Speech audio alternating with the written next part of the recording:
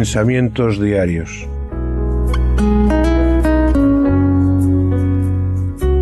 Sencillas pero profundas reflexiones para cada día de nuestras vidas. Meditaciones de la palabra de Dios nacidas de un corazón agradecido por su gracia y misericordia. Pensamientos diarios.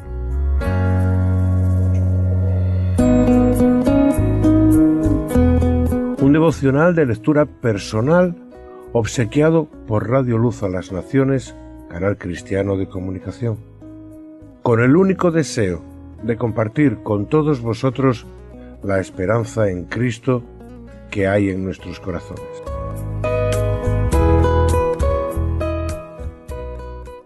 Y al que llama, se le abrirá.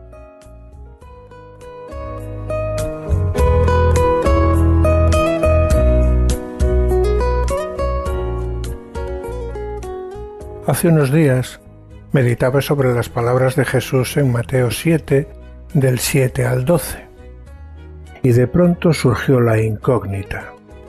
Llamad y se os abrirá. ¿Qué se abrirá?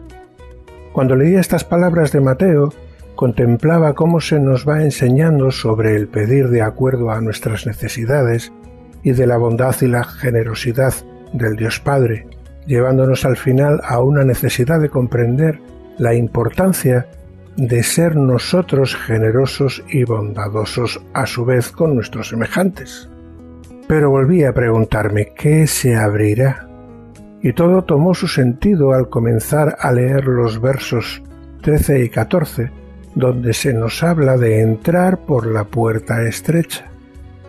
Y el verso 14 me resultaba altamente significativo, porque estrecha es la puerta y angosto el camino que lleva la vida, y pocos son los que la hallan.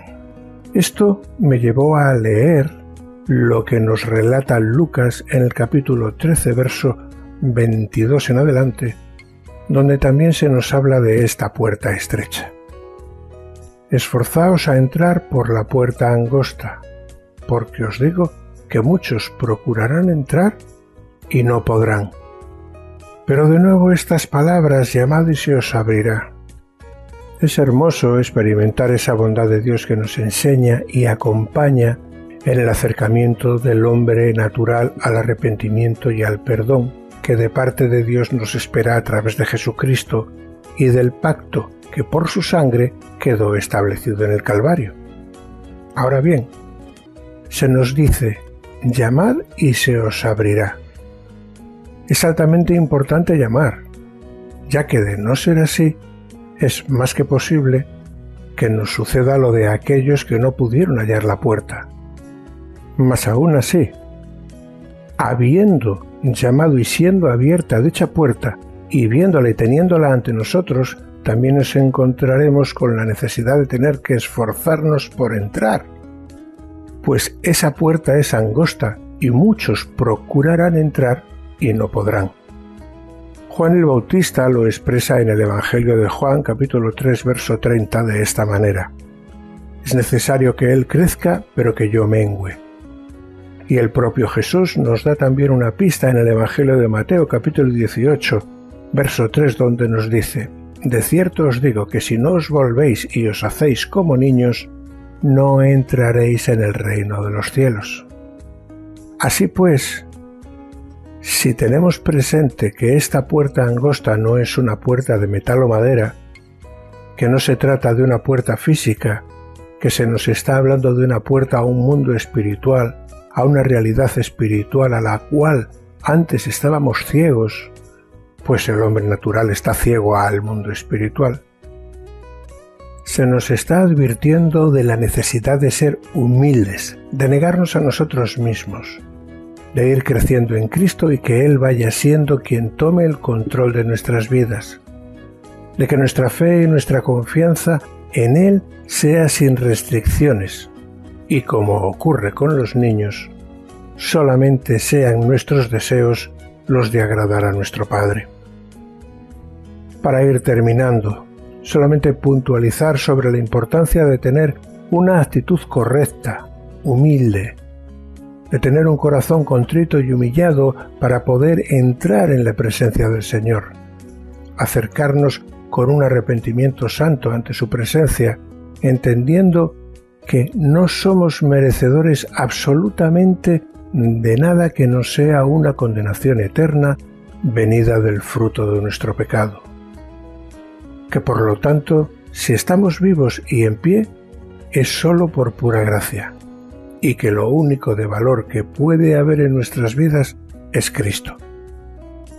Con esto en nuestras manos, con nuestra miseria y nuestro pecado, pero regenerados por la sangre del pacto, podemos con humildad acercarnos a ese trono de gracia desde el que dar gracias a Jesucristo y el corazón de Dios Padre inclinará su oído a las súplicas de nuestros corazones.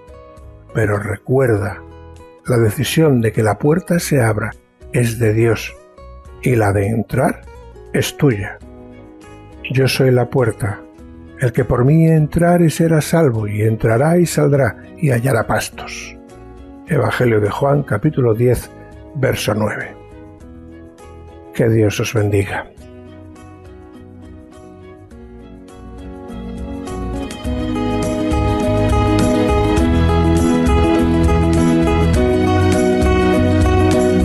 Diarios.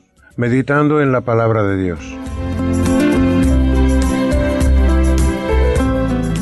Santificad a Dios el Señor en vuestros corazones, y estad siempre preparados para presentar defensa con mansedumbre y reverencia ante todo el que demande razón de la esperanza que hay en vosotros.